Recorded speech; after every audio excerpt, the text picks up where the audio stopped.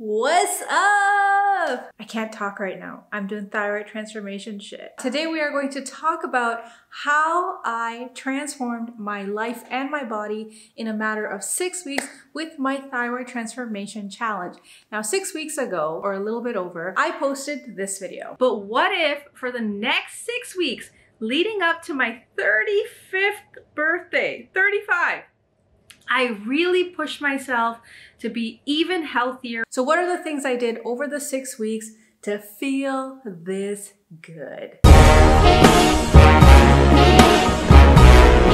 Number one, I decided I would train every single day. Now, this is not something I'm telling everyone else to do. This is something that I recognize. One of the big things I decided to do in my six week thyroid transformation challenge Whoa, is that a tongue twister? Thyroid transformation challenge, thyroid transformation challenge was to push myself to utilize the things that I have. Not only that, to stop thinking about the things that are out of my control, especially with everything that is going on around the world at this point in time. I wanted to take away from feeling sad or frustrated or angry or unhappy. But instead, I was like, I'm going to focus on the things that I can control. And lo and behold, I do have all these weights that are just calling out to me. Hello. Hello. I'm a snake. And I'm thinking I'm going to use them every single day. The decision had to be also to dial back my training intensity. I know it sucks because I like to lift heavy, I like to hit big PRs. So for six weeks, in order to train all 42 days, I trained at about a 40% intensity. I did more high reps, low weight stuff. And on the days that I didn't actually lift anything, I did stuff like mobility, I did abs, I did skipping, I did conditioning work like pulling a sled. And out of the 42 days, I trained 40 days. One day I took off because the day I decided to start my transformation challenge was actually like two weeks away from me testing my maxes, and I didn't want to take that away from myself. So the day after I tested my maxes, I took a day off to just kind of rest my body. And then after that, I took one more day off during my period because, girl, my body needed it. I made that decision and I didn't make myself feel like guilty or any other way about it. Number two, I decided to add something that most clients get when they have a trainer. Accountability, right? So when you have a trainer, you are held accountable for doing the stuff your trainer gives you to do at home. With a nutritionist, you have, you know what accountability is. I'm not going to explain it. Well, duh. Because I was the one running the program, I was the one who decided to launch this transformation. I didn't really know who I was going to rely on. And because I wanted to hold myself accountable, I did that by posting all the meals that I was eating on my Instagram accounts. So if you go to my Instagram page, which is X X, if you look at the highlights reel, you'll see the numbers one through six, and those are each of the weeks through the transformation challenge. And so what I did is I either shared like a photo every single time I ate something, or at the end of the day, I just posted a summary because it became a little bit too time consuming to be on my phone the entire day, literally just taking photos and posting it as I was going. The interesting thing that happened in this process actually was that I realized I snack way too much. These were snacks that were just empty calories. I was just binging on things because, well, I have not much to do. I'm walking around the kitchen and I'm like, why not? And I have to tell you, that to me was the biggest, biggest realization and change that happened in the six week period. Instead of snacking on like crappy things, I've started having snacks like seaweed chips, almonds, uh, just like plain popcorn, and then guac or like just plain unsalted uh, tortilla chips. You know what I'm talking about? With like salsa or guacamole. That's it. In terms of sweet things, I don't really have a sweet tooth. So my like big obsession over the six week period to this day has become dates. Oh my god, so good. They are so delicious. I don't know why I was not eating them earlier, but and I can just like snack on them all the time. Now, in keeping in line with the whole binging thing, one thing I also stopped doing was hmm. binging on social media.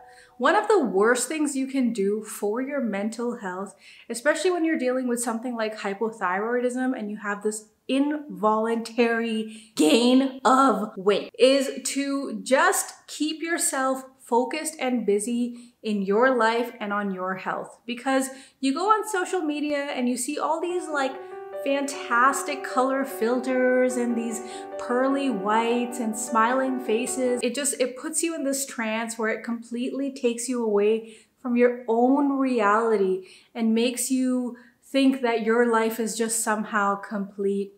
Once you dive in and you start going through people's like profiles, you just get sucked into that and you just completely detach from reality and you're just like, I want to be this, I want to be where the people are. What I decided to do was that I was only going to spend two hours a day on social media. Now, this also included the time I spend editing and uh, posting my workouts of the day, posting the foods that I was eating, uh, not only that, responding to messages or emails I was getting. So basically, I was able to just hone in and shift all of my focus that I was spending on social media towards things that were making me better. It's really important to do the things that are good for your mental sanity and also to shift the focus into your actual life and like the things that you have and the people that you are surrounded with and the things that you can do and the stuff you have access to. I wanted to really focus on the things I can control and allow them to influence the way I see perceive and feel about myself.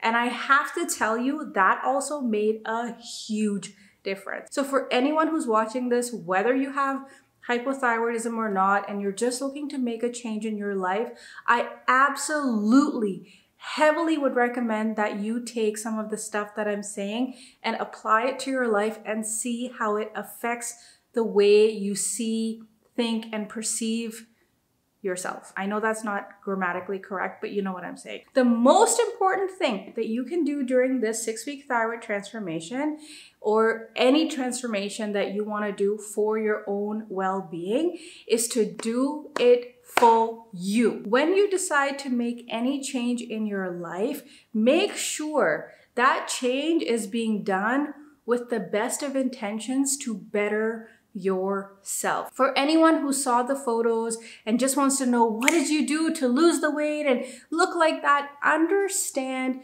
that change will come. If you are healthy, you know, you don't have to be like strict with your life, but if you are overall practicing healthy, strong thinking, strong living, you are eating well, the change will come. But understand every single time you veer off path, every single time you make the choice not to do something, those are the times where you are only taking yourself further away from that end goal. Every time you choose to sit at home and watch Netflix or whatever, you are taking away from being the best version of yourself. Okay, I know, like, um, yeah, that's right. That's the end of my TED Talk. Thank you for coming. I truly hope this video helps you guys out and gives you a little bit of insight into what I was doing and thinking in that six week period. If you guys have any specific questions or you wanna know anything or you just wanna have a conversation, hey, reach out to me, message me, let's talk, let's figure this out. And if there's any way in which I can help you, I will. I promise. Okay? So until next time, think strong always, and we'll talk again very, very, very, very soon. Bye. Side note. When it actually came to training every single day, understand that I was not motivated to work out every single day. Like there were days where I was tired, I had a migraine, I didn't eat enough because I got wrapped up doing work or editing. It didn't matter. The concept of relying on this idea of motivation to get my ass to work out did not exist. The basic principle was I had made a promise to myself that I was going to take care of myself. I had decided this for myself and no one else that I'm going to do it. And so every time I got up and actually worked out instead of just getting wrapped up in the TV or getting like smushed into the couch, I only felt more proud of myself. And that in itself was an incredible feeling. The end.